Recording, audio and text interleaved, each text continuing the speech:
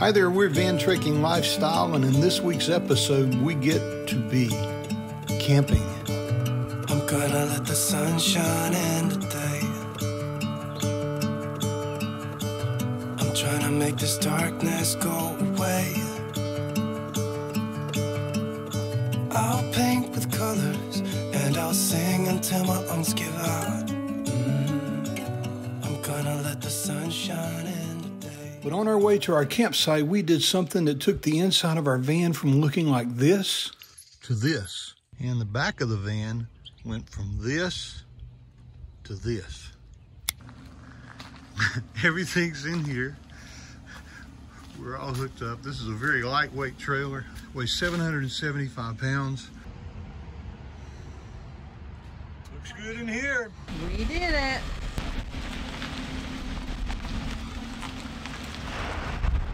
We're gonna head on to the next place we're gonna stop.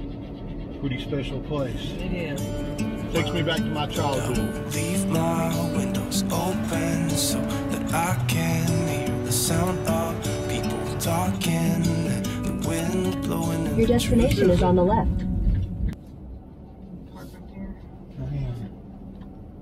Well, it's been a heck of a day for us so far. Lynn's inside our second destination for the day and the next to the last stop before we actually get to our campground. We're at Tony's Ice Cream and Diner in Gastonia, North Carolina. And this is a place that brings back so many memories for me. My grandparents, who I used to go stay with every Friday and Saturday night from the time I was, I, I guess I was in diapers. I was really small. But I used to go stay with them. And one of the treats of doing that was they would bring us to Tony's Ice Cream and we would get ice cream. This place is pretty special to me. And I know it's also pretty special to a lot of other people who grew up in Gaston County. And this place, man, it brings back so many memories to sit here and just think about coming to this place with my grandparents. Such a such an awesome thing. Really, really glad I'm here and we will uh, enjoy this little picnic we're getting ready to have for sure. Here comes happiness. so what do you think? as As good as you I remember. It was for me too. Pretty full though. It's a big milkshake. So like I was like I was telling you, it's a place that you just I know for you you probably have to have places like that that in your childhood you went there and hopefully they're still in business. Tony's has been in business since 1915. Next stop for us, Kings Mountain State Park. I'm going to shut up talking so we can go get to the Oh, campground.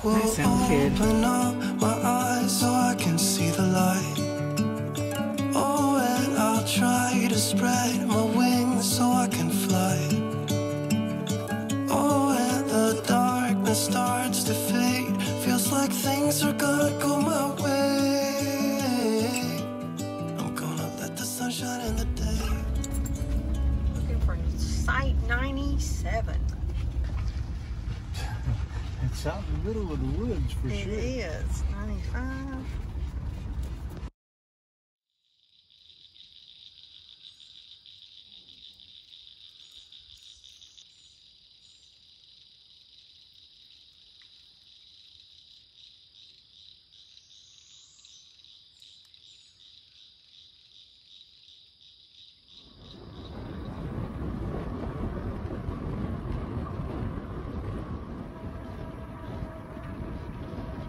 Then loves to go fast on the bikes.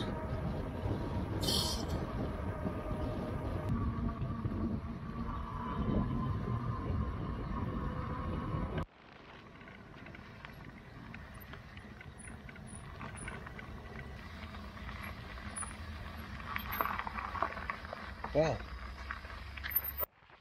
Having fun. I'm having a blast. Love the bikes. They're just a lot of fun riding through the park looking for this I York know. Lake, We've ridden everywhere. We made it all the way to the national uh, park part the this, military. the military national park, and then it was closed because of COVID nineteen. This is open, but this is a looks like a pretty uh, small little creek that goes into a lake. Looks like this is the only place we can go to get on the lake, but From the map, knows? it looks like that. We're having a blast though, just with the bikes, though, right? It's been a lot of fun. Yeah. that was the right thing to do. Wish you'd done that two years ago, right? Yeah, probably. he was right. cool. All right, we're going to see if we can make our way back over to the campsite. This has been a pretty good first day. We almost sat down in the chairs and said, let's just go duh. But we Yeah. decided to get out. I'm glad we did. Yeah, you? me too. Me It's too. worth it. All right, make it back. We ordered a new table so we could grill on it. One of the advantages of it is it makes a small little picnic table that we can put inside of the room. We're all set up, no bugs. Well, last year before COVID-19 hit and we went on our last trip, we ordered something else for our clamshell room. These covers. Look at this, this is cool. It provides a lot of privacy, which we like a lot. Okay, so it has four uh, Velcro strips that Velcro from both sides, the inside and the outside, and then the flap rolls over it. And then it also connects at all four corners. With little clips. Yeah. So it kind of pulls it tight, so you know it's not going to flap around. And it's awesome. Pretty neat. The Like uh, the window co- the window covering rolls up. So you and roll also velcros in place as well so it velcros here here pretty neat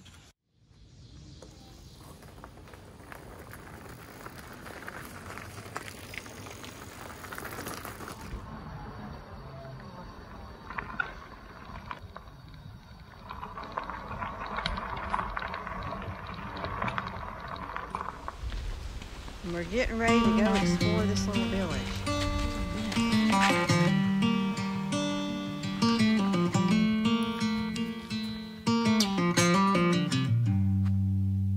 Heading back to what used to be home. Passing by those little towns I know so well. Stopping for gas and then I'm behind the wheel again. Driving this like a spiritual cleanse where every mile is a new beginning every bend holds a new end. Eyes on the road, don't lose control.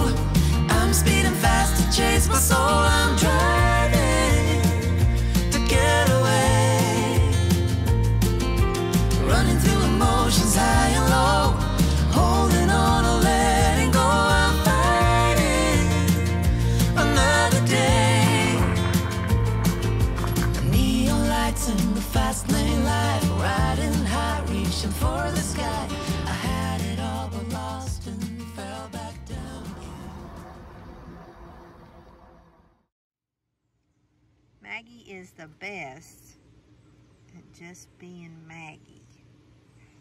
Aren't you, Maggie? She is chilled out, but she is looking for the squirrels.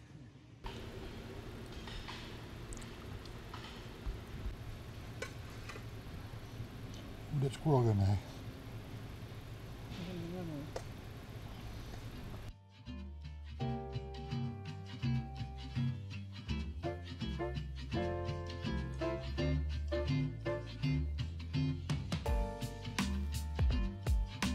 Tonight for dinner, a really simple meal on the griddle, and we're actually camping tonight. Lemon pepper chicken. Man, it's awesome. It's a simple recipe. I'll show you how to do that. First thing you have to do, chicken works better on the griddle when it's the same thickness all around. So you have to pound the chicken down to be about the same thickness. We have five chicken breasts here that we're gonna do this to. Then we'll get to griddling. You may recognize this as a uh, Michelob Ultra beer bottle. Uh, that's an adult beverage, by the way.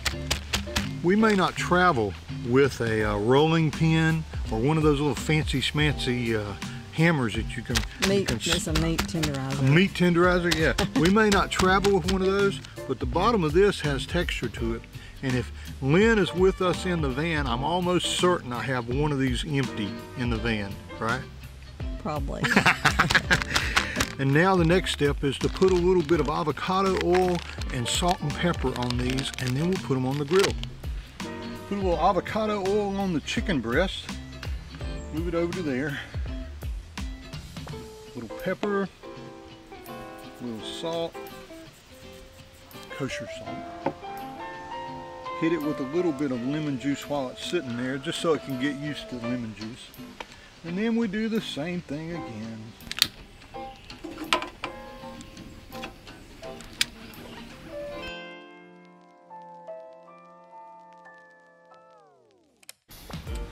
So the trick is to get the griddle just as hot as you can get it. If you put your hand on it and you don't have a hand anymore, it's hot enough. Listen to this. You That's like that sizzle, don't you? You ought to. You got to listen for that sizzle.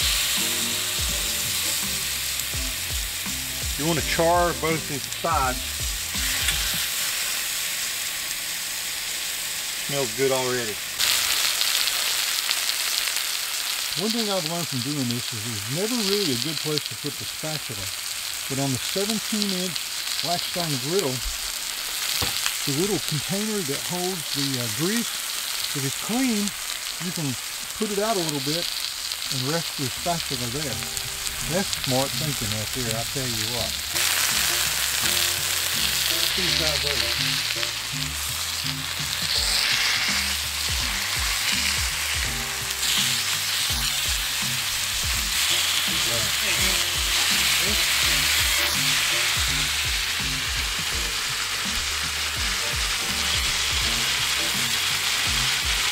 Looking good.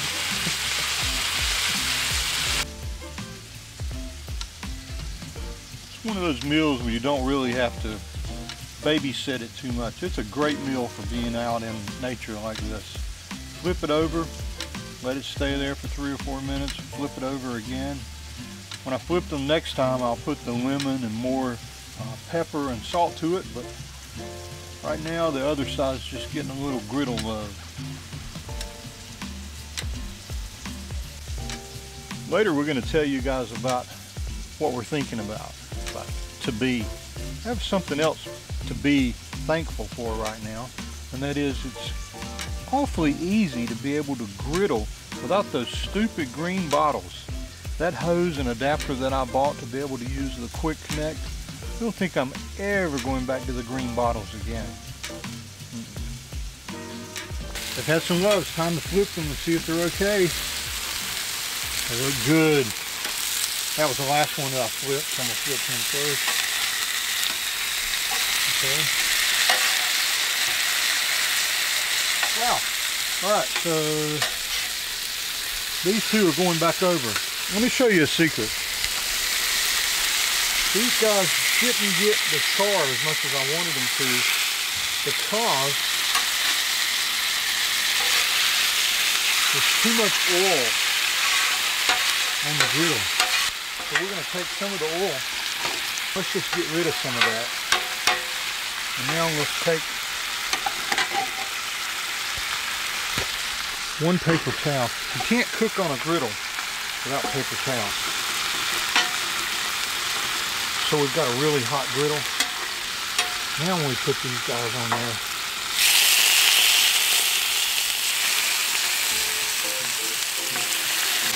we're gonna put some pepper. We're camping. We're not gonna cut up real lemons right now. If you're at home, you can do that. But for here, if you just get lemon juice from concentrate, it's gonna taste the same. Just trust me. It'll be good. Let that sit for a minute. We'll come back and flip them over, repeat that process, and we'll be eating. In the meantime, my sweet wife is going to get the side items ready to go, minus an eyebrow, it sounded like. Uh, all right, how's my part of the meal doing? That looks like that's going to be a great dinner for my part. Let's go cut one open and see what it looks like. By the way, if this looks like a lot of chicken for two people, it is. We're going to make chicken rice balls tomorrow as we go out on the paddle boards. So this is just part of this for tonight's dinner. And now, let's see what it tastes like. You gonna try the chicken? Getting ready. Alright, let's see Here we it go. is. It's gonna be hard to do a happy dance sitting down. Mm, mm, mm. Look at that. Let's see. See what that looks like. Perfect. You picked me a good little bite here.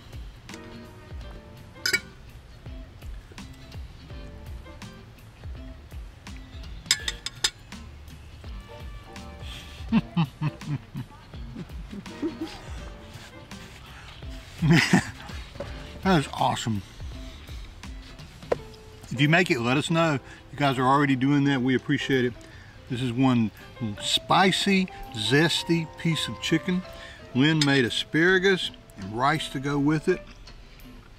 Tell you what, griddle me this. What's the best chicken you can make on the griddle? I believe it's lemon pepper chicken. Every now and then throw a little butter and garlic on it just to make it feel a little extra special. But just lemon and pepper and a little salt, really hard to beat that. We're gonna get to eating. We're glad you're here. Meet us around the griddle next time and we'll show you another recipe. It's always good to get my sweetheart's reaction to the first bite. Yum. It's good. want- Oh, here. Mm, there you go. All right.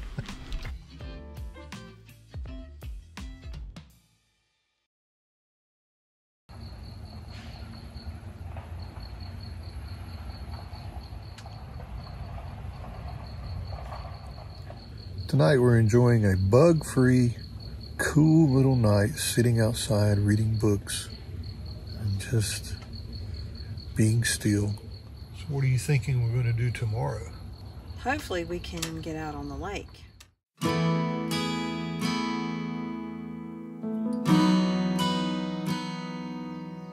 Come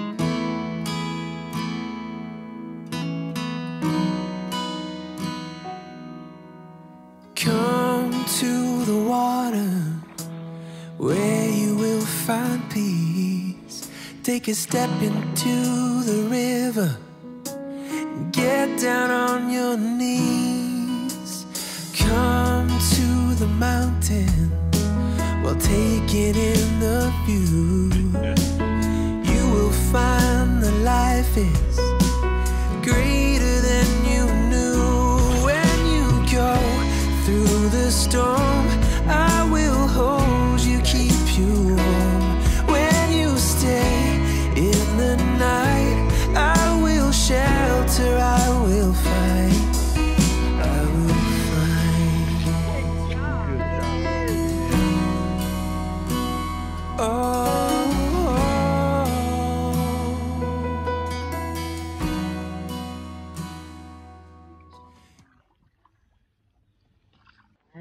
yesterday we made lemon pepper chicken.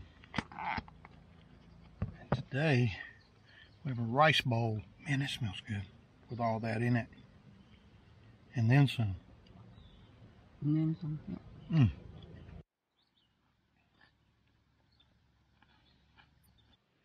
Sometimes you just have to be on the water. Sometimes out in a little lake like this, it's hard to find shade, but we were successful. Lunch is just as good as dinner was last night, and we're out here by ourselves. We're making the most of it. That seems to be the theme of this trip making the most of it, learning to just be, be okay with sitting on the water. The breeze feels awesome. It's always something good.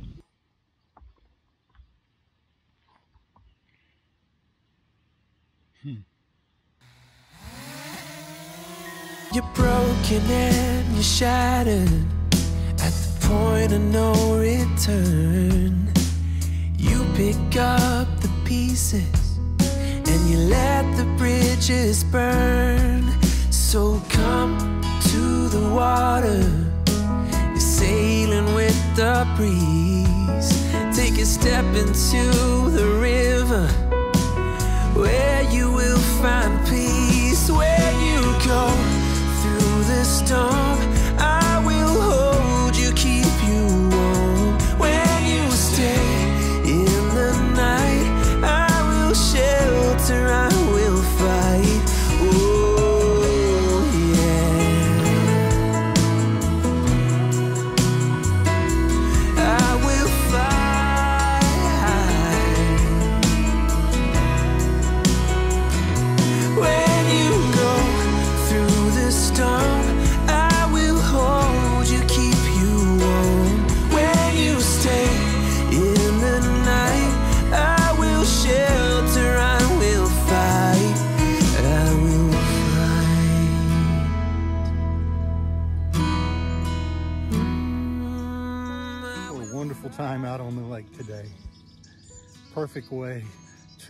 top off this little trip to Kings Mountain State Park. So come to the water where you will find peace. Take a step into the river and get down on your knees.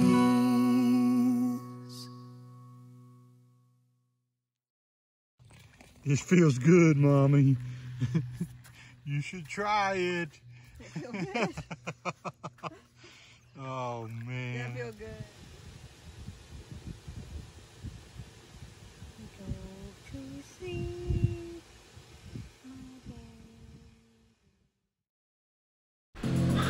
So here I am sitting on the bumper of our new trailer.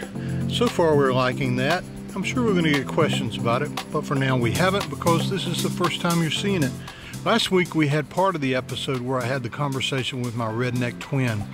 Many of you asked questions about that, specifically Roads of Life, who always leave the best comments, wanted to know if that's a specific thing you do inside a Final Cut. Well, it can be done with any editor. You, you just need to, as I did there, I created right down the middle of the couch there was a scene. So then I brought both of those clips into the timeline on Final Cut. And on the clip that had me sitting on the left, I just simply cropped out the part on the right and vice versa on the other side. And you can't see it, but in each one of those sides was sitting Lynn, who was acting like she was me and doing my part of the skit that I was going to be bannering back and forth. And that way I could kind of keep the timing. It's a great technique and you can do it with any editor. And we really uh, enjoyed putting that in there some of you made some really funny comments about it. I'm glad it was helpful. It was our kind of sarcastic way of saying it takes common sense to go camping right now.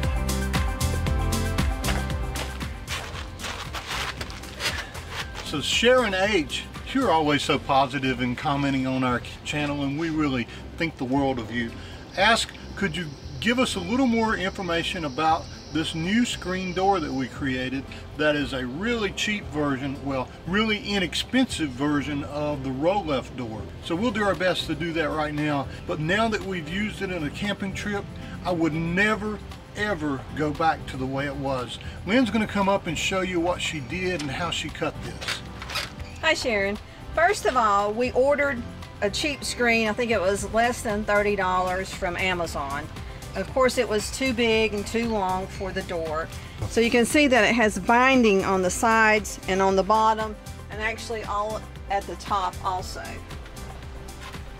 So what I had to do is I took the binding off everywhere on the sides and on the bottom, everywhere except the top and then of course in the middle. So then we had to, I actually measured this side first because we wanted the opening to be in the middle.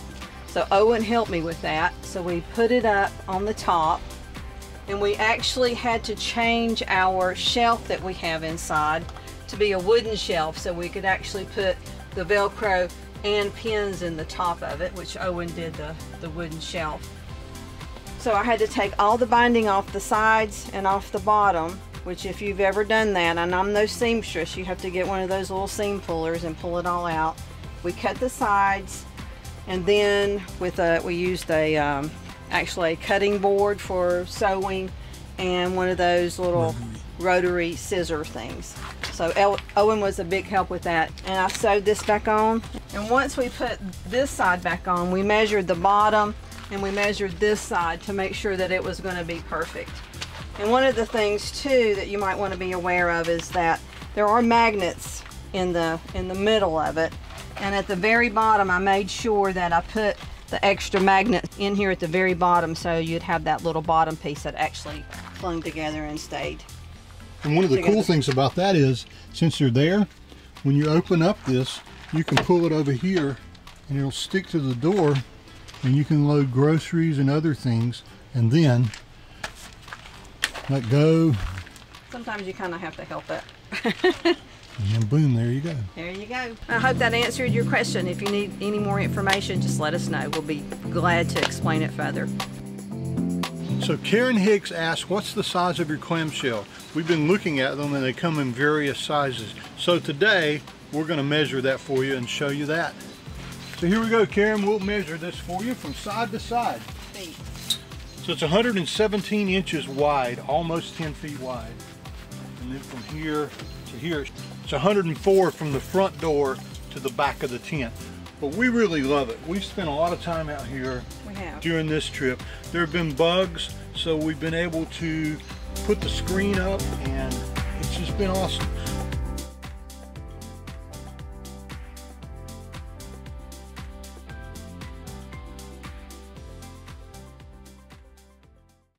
Today we'd like to talk with you about the word to be. It's something we've had to learn on this camping trip we just completed. Not to be in the sense of the way Shakespeare would say to be. I think he meant something totally different that was a little deeper than what we're thinking about. So what we're talking about is what we've had to relearn during this recent camping trip in our van. We've had to relearn how to just, well, to be. Hmm. To be okay with things being quiet to be okay with no internet, to be okay being around other people because quite honestly when we're at our home we're not around people. We've had to learn how to to be still and to be okay with not so epic camping spots. Yeah. To be okay with just sitting around and reading.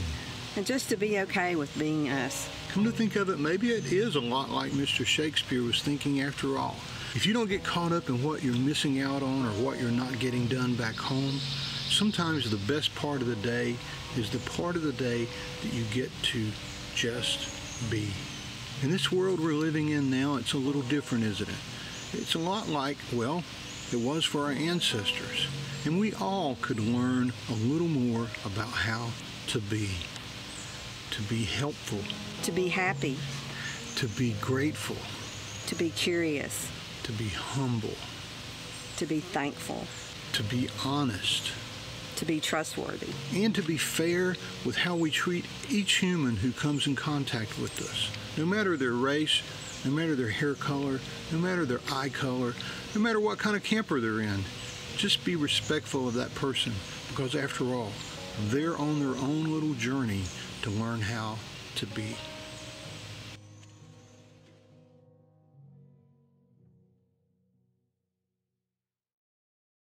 A word of warning if you're afraid of snakes or you don't like seeing snakes, say goodbye now.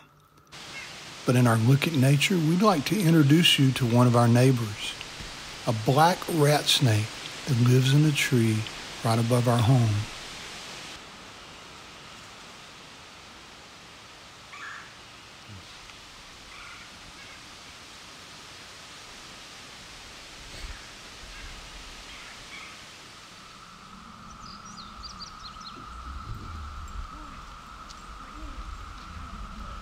He fell down the the tree.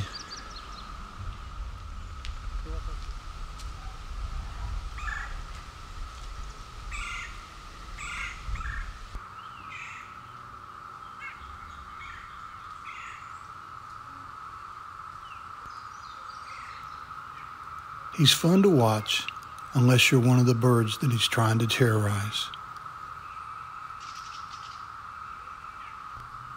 Every creature in nature has a place, and we're very, very grateful that this guy lives in a tree right in front of our front porch. Thanks for being part of our journey. We'll see you again next week.